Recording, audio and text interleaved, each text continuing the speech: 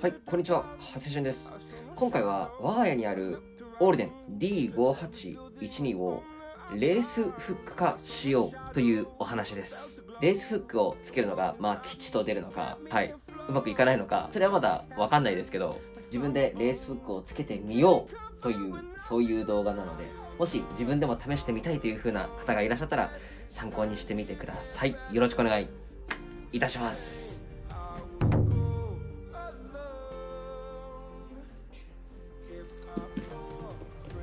はい、じゃあまずはね、レースフックをつけるために紐を外しましょうか。あ、あとこれおすすめですよ。シダードライ。はい。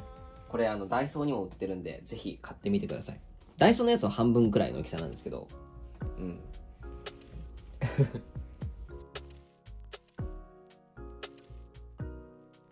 一応あの、初見の方のために、この靴の、あの、紹介から、はい、こいつは、あの、オールデン D5812 Perforated Cap Toe Boots。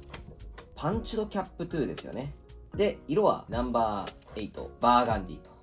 はい。やっぱり、オールデンといったらバーガンディですかね。かっこいい。うん。他の色もかっこいいですけど、オールデンといえばバーガンディみたいなところは、うん、ありますよね。ひえー、汚い汚いよ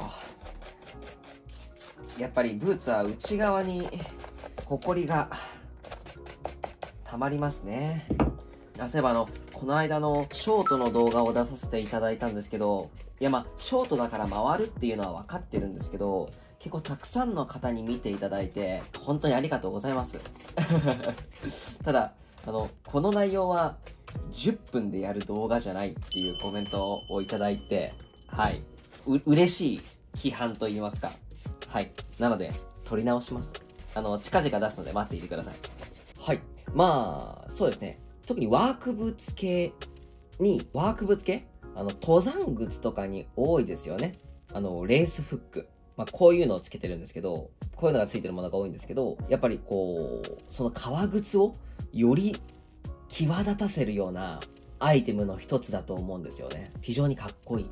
特に、レッドウィングのアイアンレンジャーなんかにもついてますよね。よくよく思い出したら、自分初めて履いたブーツが、ティンバーランドなんですけど、そのティンバーランドにも、なんか申し訳ない程度にレレースフックがついてて、うん。そうですね。あとは、自衛隊と言いますか、ミリタリーのブーツにもレースフックって結構ついてたりするじゃないですか。そのなんで今回そのレースフックをつけようと思ったかっていうと、まあ、単純にかっこいいからっていうのもあるんですけど、まあ見てくださいよ、これ。自分の持ってる D581 には9ホール空いてるんですよね。これがいいっていう、ここね、紐でギュッと締めるのがかっこいいっていう方もいるんでしょうけど、ね、正直ね、大変。履き心地はいいんですよ。履き心地は。ただ、あの、脱ぎ履きがね、めちゃくちゃ時間かかるんですよね。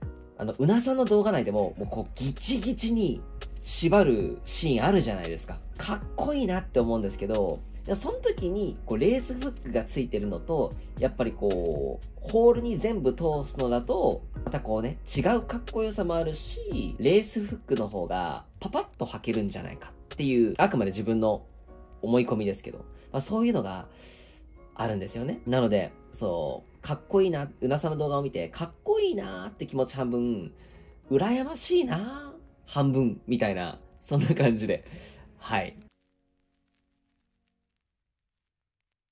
まあ、今回自分が購入したのは、まあ、これなんですよね。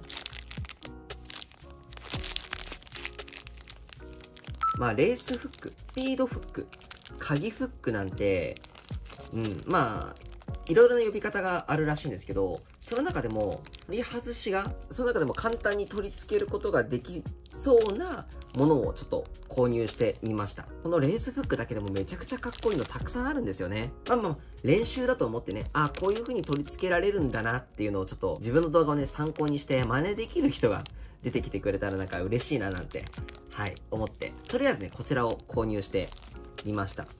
こう、はめ込み式のレースフックだと思うんですよね。そのカタログだけを見た場合。はい。パーツはですね、おそらく全部でこの3つですね。はい。これが、こういう風に挟まって、あ、向きはすいません。逆なかもしれないんですけど、で、これを、こう、パチッとめるみたいな感じになってると思うんですよね。これ多分押し込めばはまると思うんですよ。というのも、ここにちょっとくぼみがあるじゃないですか。多分このくぼみで引っ掛けるみたいな、こうガチッとはめ込むみたいな形になってると、うん、思うんですよね。まあ、いろいろね、アンティーク調のものとかもあったんですけど、とりあえず簡単につけられそうなものを選びました。本当はその、ハトメとかを、そのハトメをつけるための専用の道具とかもあるらしいんですけど、とりあえず、こう、こういうの装着するのは初めてなので、あくまでこう、素人、素人目線で、まあ、簡単にできるものがいいかなと思って購入しました。早速やっていきましょう。その欲を言うと、今ついているホールがあるじゃないですか。これを一回本当はちゃんと外して、これに付け替えなきゃいけないみたいなのがあるらしいんですけど、まあ、こういう風な感じで、ちょっと伝わるかな。皮に直接金具がぐっと押し付けられちゃうのが、ハセシュン的には嫌なんですよ。多分その方がちゃんとガチッとはまって装着するレースフックが動かないんじゃないかなっていうふうに思うんですけど、うん、今あるホールにこういう風に当てるわけじゃないですか。そのせいで、このホールが、あこのレースフックが隙間ができて、こうカチャッと下向いちゃうのが嫌なんですよね。そのためにも、今あるこういうのをは、今あるホールを外さなきゃいけないのかなっていう。でも、こう変に外した、外して皮を傷めるのも嫌だしっていう。そういう人はお店に頼みましょうね。あくまで自分が勝手に個人でやってるので、そうですね。あの、自分でやる場合は自己責任でお願いしますよ。はい。自分のオールデンには、まあ、上から3つかな。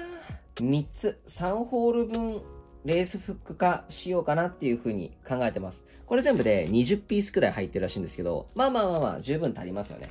左右だから66で12、12ピース分使ってやっていきたいと思います。よし。まあ、これですね。このパーツを、まずは多分裏から、あ結構ぴったりじゃない？いいですよね、これ。あ、外さなくていいのかな、これ。ハトメを。で、こうですよね。あー、でもこれ多分ずれるな。で、最後にこいつを、こういう風な感じ。ほら、こうやって、回っちゃうのが嫌なんですけど、まあ、しょうがないよね。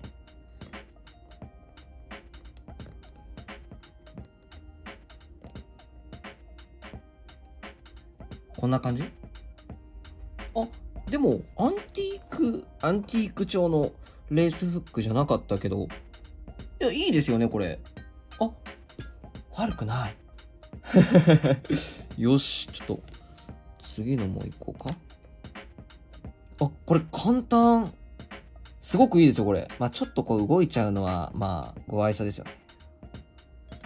あー、なるほど。なんか皮の厚さによって、グラグラするところとしないところがありますね、これ。あ、けど、一回やっちゃうと外れないな、これ。あまあまあ、やっていきましょう。こんな感じで。はい。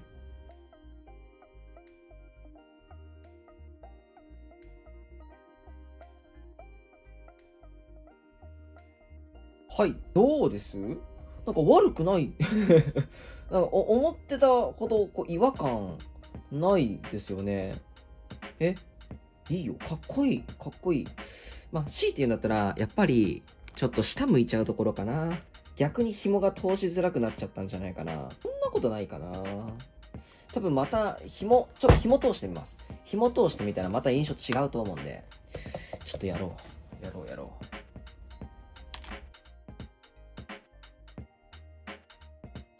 こうだよね。キュッと向いて、して、うわー、隙間が邪魔だな、これ。引っ掛けて、で、もう一回、ギュッと、引っ掛けて、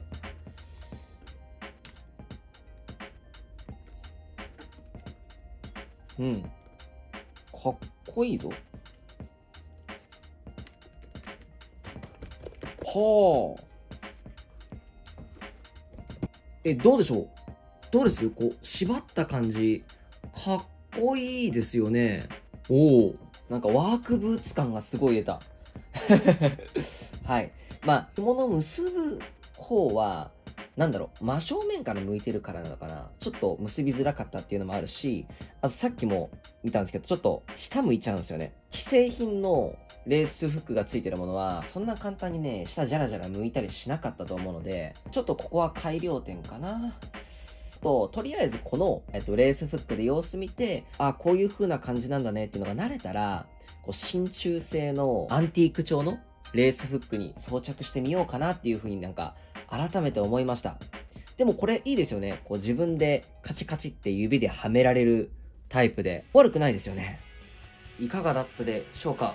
オールデンの、え、オールデン D5812 のレースフック化。とりあえず、今のところうまくいったという風な形で、やっぱ雰囲気変わりますね。すごいかっこいい。またね、またねこれで多分、レースフックはレースフックで締めるね、練習は必要だと思うんですけど、これで実際にどんな、どんな履き心地になるのかみたいなところもね、また今後まとめていきたいなと、近況報告で動画撮っていきたいなと思うので、はい、よろしくお願いいたします。またあの、コードバンの皮の質っていうのをマイクロスコープで見てみるみたいな動画もまたあの上げ直すので、はい、ご興味ある方はぜひぜひ、あ、その毛羽立ちの直しとか、そういうのって意味あるんだみたいなのを、その科学的な、ね、知見から見てみるみたいな そういう動画も出してみたいと思うので、はい、ぜひよろしくお願いいたします。今回の動画は以上になります。最後までご視聴ありがとうございます。チャンネル登録よろしくお願いいたします。では、バイバイ。